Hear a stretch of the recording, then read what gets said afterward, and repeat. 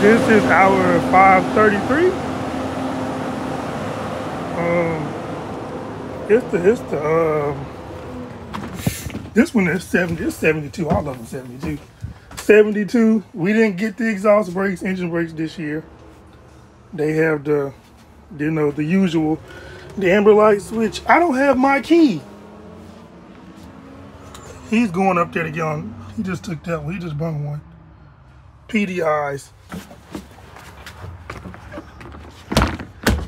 These, well, this one does not have Vanderlock. Guilford, all these are Greensboro buses. Guilford, they don't have Vanderlock like either. All of them, I think the entire row, at least you get to the halfway, all of them are Greensboro. They don't have Vanderlock either. The turn signal. Tire, obviously, mud flap. This reverse light comes on, you back up. It's a 100 gallon diesel tank. And it's 533, that school bus sign lights up.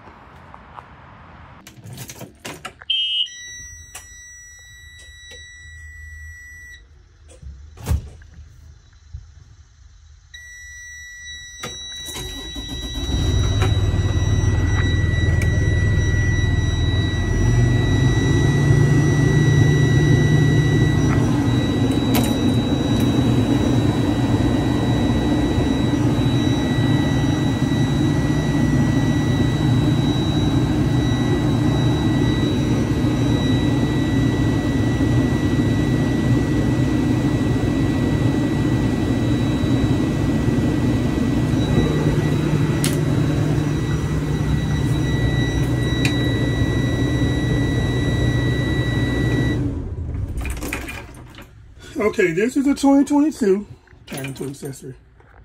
Um, this bus is equipped with. I didn't get on. I got on one they told me I can get on. Not the one I wanted, but it's okay. Um, it's equipped with the fast idle, which is a high idle button. This is panel increase and dimness, but you can't tell because it's off. Headlights, running lights, off. They automatic though with the parking brakes, so you don't even need those.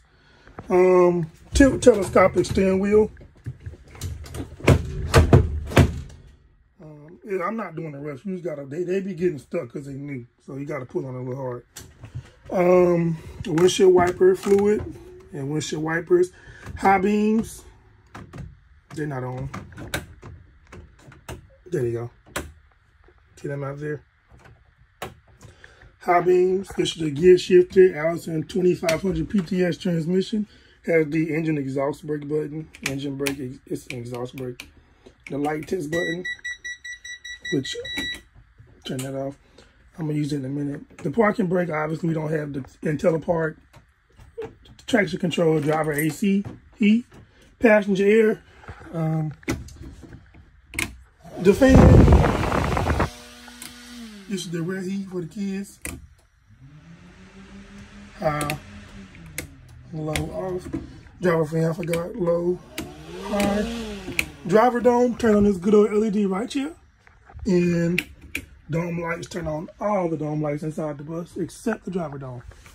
Um, because this bus isn't programmed too heavy like that. Um, noise suppression, so if I want to turn on the AC, which that's obviously that's not gonna work. But if I had all this on, fan heat, and I wanted to get everybody's attention so I could say something versus turning everything off one by one, I can just press and everything temporarily goes off. There's also something to check if your is not working or your heat or your fan. If you got a noise suppression button, you just make sure it's not on. Mirror heat. The destination sign is for the illuminated school bus sign. And you guys can kind of tell um, you look close, I'm gonna press it. You can't really tell. Okay, maybe you could tell through the, okay. Kind of can tell. On, off, on, off. But that lights up along with the stop sign. I believe the stop sign only comes on when you deploy it. Let's see. So Hold on, we get to that in a minute. These are indicators post trip. So This lets you know you have to go to the back to press to deactivate the system along with the lights being on or the horn will go off. We try to get off. This bus is equipped with vendor lock. So there's a lock on the front door and you use it with the key. I have that key, but I'm, obviously I can't turn it on from the outside. Um, There's a lock on the back door. So if you try to crank up the bus and that door was locked or, or this emergency equipment box was locked, it won't start. And now I'll show you. Hold on. Um,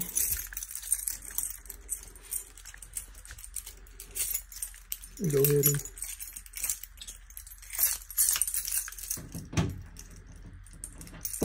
so if you did that locked it and tried to crank it up it just beeped and it wouldn't start and that indicator will flash so you hear that noise and you kind of can see in the lock and it won't start now if I so happen to turn that back off, unlock it, and this goes for the same as the back door or any emergency exit that has a lock on it. So that's why it's really going off. And it cranks. And that's the engine fan.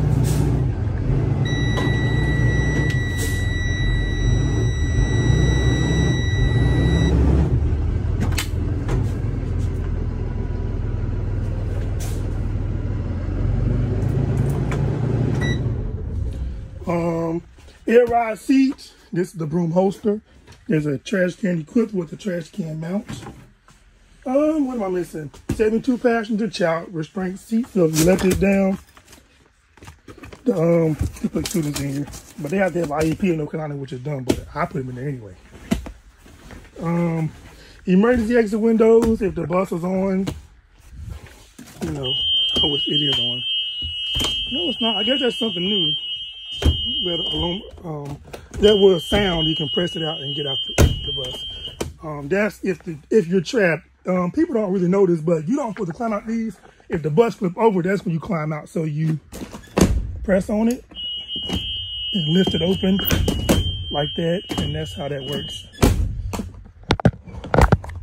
Um, same thing with the back door as usual. You want to try to get out the back door first. If you can't get out the front, then you want to try the side windows and if that doesn't work, if the bus flipped over or, you know, pushed on the shelf, you can jump off the bus if you want to.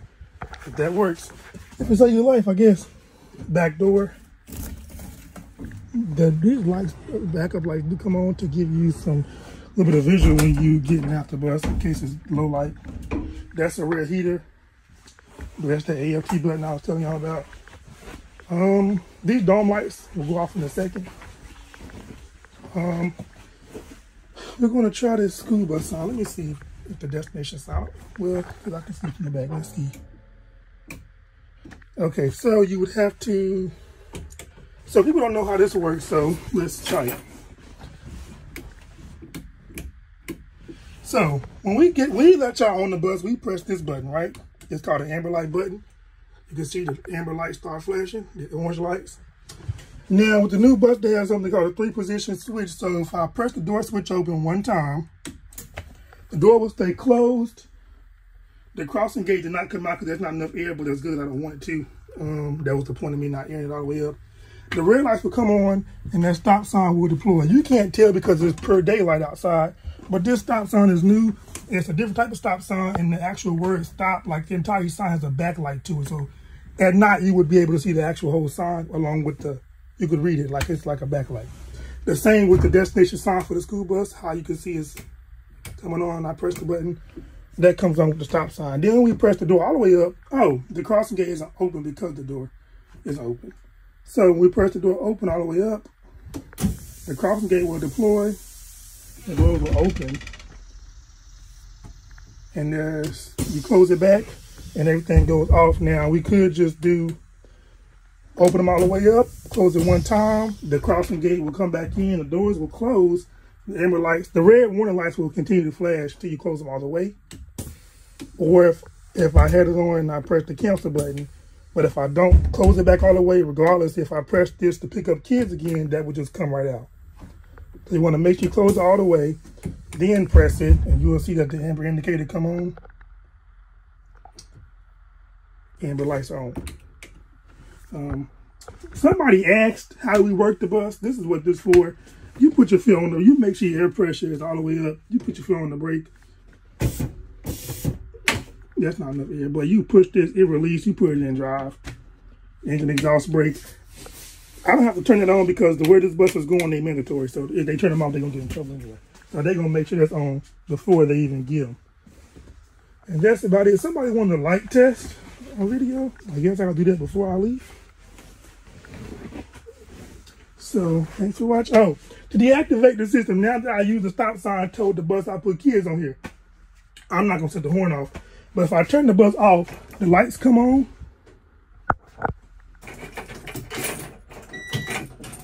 Let me go ahead and activate it because I don't want to.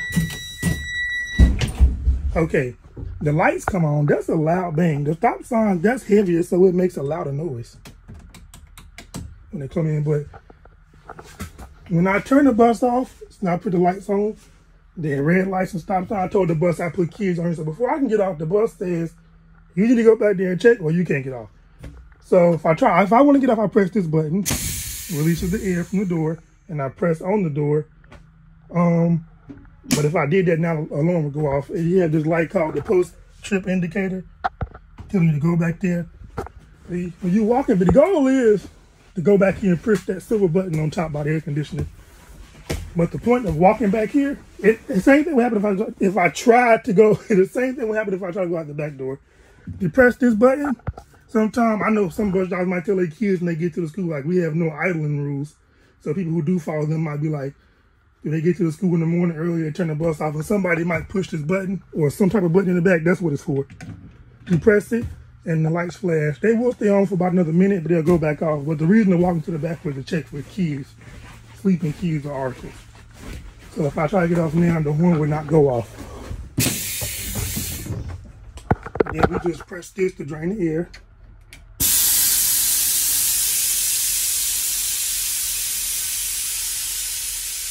We done.